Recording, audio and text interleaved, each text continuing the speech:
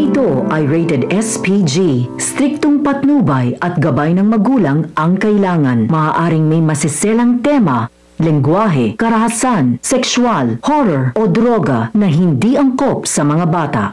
Gigisahing mabuti ni Lilet si Evelyn hanggang sa umabot na si Evelyn na ang umamin sa mga totoong nakita niya ng gabing pumanaw si Attorney Simmons.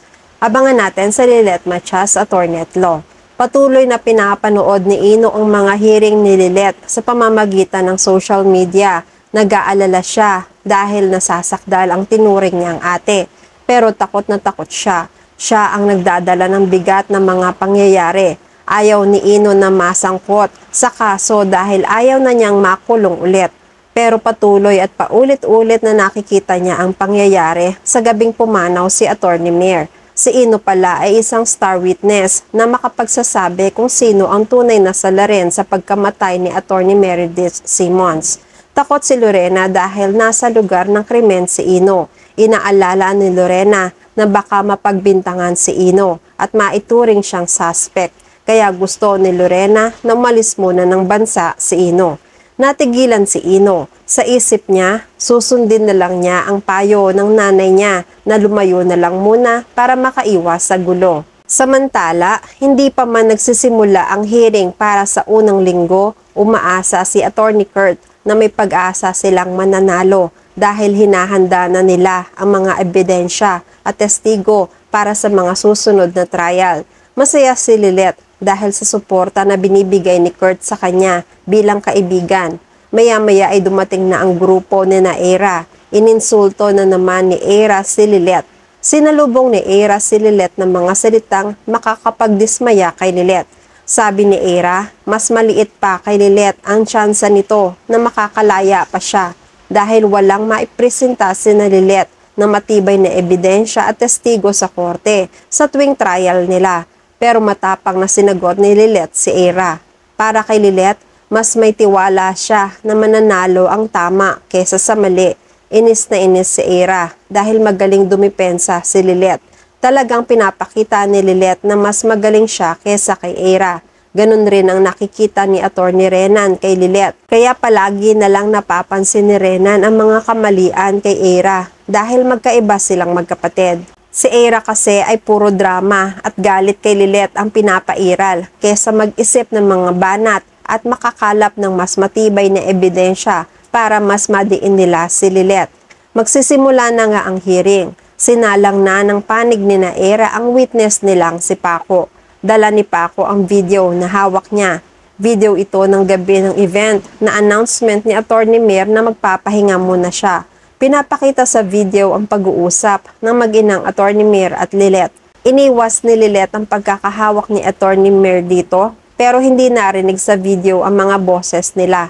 Ito ang panahon na sinabi ni Lilet na lumayo sa kanya si Attorney Mir dahil sikreto pa lang sa karamihan na magkasundo na sila ng nanay niya. Usapan na nila ito para hindi masaktan si Ira sa pagiging magkasundo nila.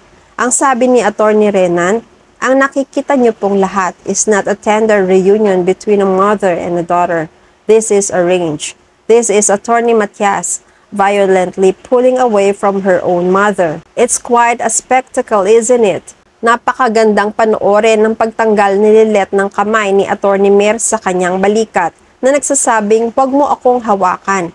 Pinapahiwatig ni Attorney Matias na hindi niya gusto ang ginagawa ng isang ina sa kanyang anak na meron silang hindi pinagkakasunduan. Nakangiti na umupo si Attorney Renan. Maya-maya ay si Lilet naman ang nagtanong sa testigo ng kalaban. Sinabi muna ni Lilet sa judge na ang videong napanood ay isang clip lamang. Hindi pinapakita ang pinakasimula at pinakahuli ng mga pangyayari kaya hindi pwedeng maging basihan na maging matibay na ebidensya dahil sa kakulangan ng mga detalye nito. Nagsimula na si Lilet Natadta rin ng mga tanong si Paco na nagmamay-ari ng video clip. Tinanong ni Lilet si Paco kung nasa ang banda siya nung kinuhanan niya ang video. Sumagot si Paco na nasa labas siya sa may party kung saan malakas ang tugtugan. Sinabi pa ni Lilet na kung nasa labas ka na malapit sa speaker, malamang hindi mo narinig ang mga boses namin ni Attorney Mir. Idagdag pa rito na nakuhanan mo kami ng video na nakasara ang pintuan ng kinaroroonan namin ni Atty. Mir habang nag-uusap. Sumagot na sang-ayon si Paco. Nagpatuloy si Lilet. So, ibig sabihin, malinaw na hindi mo talaga narinig ang pinag-uusapan namin ni Atty. Simmons, tama ba? Sumagot ulit si Paco na nakasang-ayon. Nakapuntos rito si Lilet. Wala na munang itatanong si Lilet mga nagulat sina Era at Attorney Renan. Sunod-sunod ang schedule ng hearing nila. Sa sumunod na paglilitis, si Evelyn Magas naman ang nakasalang. Sa panig pa rin ng partido ni na Era, si Attorney Renan ang unang nagtanong kay Evelyn. Miss Magas, maaari mo bang ikwento sa hukumang ito ang insidenteng nakita mo kung saan namatay si Attorney Simmons?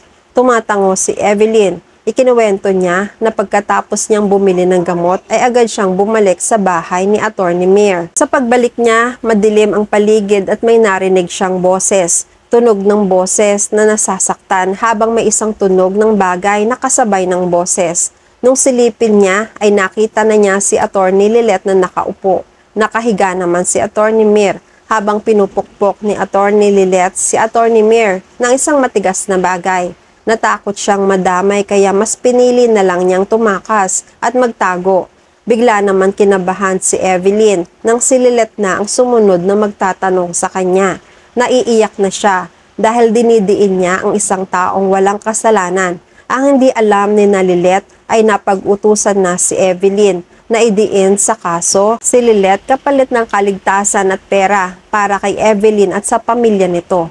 Nagagalit si Lilet pero kinokontrol niya ang emosyon niya dahil para kay Lilet, humaharap siya at kinakausap si Evelyn bilang isang abogado, hindi bilang isang anak ng namatay. Matapang na nagsimulang magtanong si Lilet, gaano ka na katagal na naninilbihan kay Attorney Simmons? Paano ang naging relasyon nyo bilang amo at kasambahay sa loob ng mga taong nanilbihan ka sa kanya?